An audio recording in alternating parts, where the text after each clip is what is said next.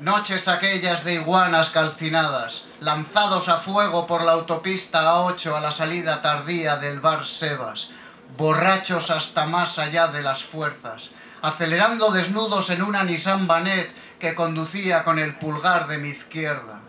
Noches aquellas con sabor a velocidad y a punto de matarnos, Sirache, cuando querías torcer el volante contra la meridiana para morir unidos como Filemón y Baucis, cuando jugabas a esbozar las caras de las urgencias ante nuestros cadáveres desnudos y espléndidos, las caras de los bomberos sacándonos con el cortafríos y limpiándose nuestro semen con repugnancia.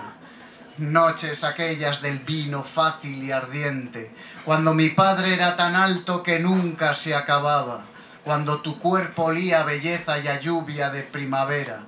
coreando como bandidos las letras de la polla recos, totalmente desnudos por el túnel de Malmasín, totalmente borrachos por Careaga Goicoa, conduciendo libres y a mil ruedas por hora, mientras nos quejábamos de la archancha,